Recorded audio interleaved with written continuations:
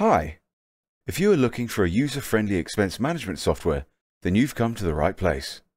Today I will show you how to digitize receipts using CostPocket. Here we have the app already open. At the top of the screen, we can see the company for which we're submitting documents to, and at the bottom, we can see two buttons, Add from Gallery and Take Photo.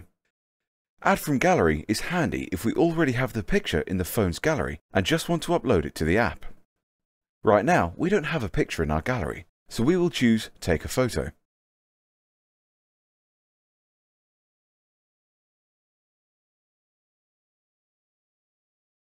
Now the app will ask a few questions. Firstly, it asks whether the expense is reimbursable or not.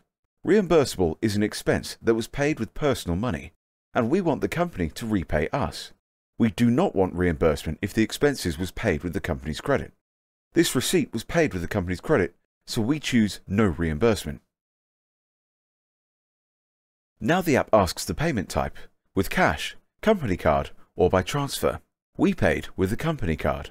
Finally, it asks the expense type. By the way, all expenses are customizable. You have an option to add a comment for the accountant, specifying exactly what the expense was used for. Or we can choose one from previously added comments. And now we click Save. CostPocket then uses text recognition to find data from your document, and in a few seconds it shows all the data that the robot found from this receipt. The robot found everything but the registration code on this receipt, because it isn't shown on some receipts. Seems like the robot digitized everything else correctly, so we can just press Submit. Now this document will be sent to accounting. If a company is integrated with accounting software, it sends the document directly to the software so that the accountant does not need to put any data into the system manually. Both digitized fields and the original document will be forwarded to the accounting system.